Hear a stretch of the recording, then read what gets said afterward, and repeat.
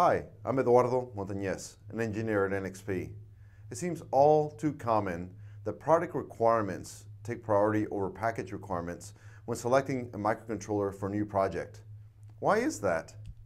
An inefficient package could present so many challenges, from performance to increased schedules to board size, and most importantly, cost. The i.MX RT processors, along with its rich feature set, really do cater to PCB layout engineers.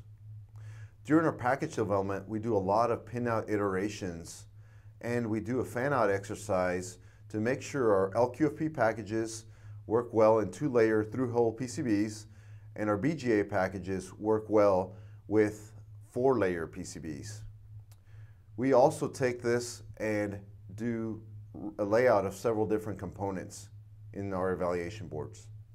For our i.MX RT packages, we insist in supporting 4 mil trace space or greater, no buried or blind vias, and absolutely avoiding any high density PCB design rules. Our EVK development boards are designed in-house so that we can pass along our layout knowledge to our customers. Start with our evaluation boards to see how we did our layout. Go online to download PCB schematics and layout files along with comprehensive layout guides. Thanks for watching. To learn more, go to nxp.com slash imxrt.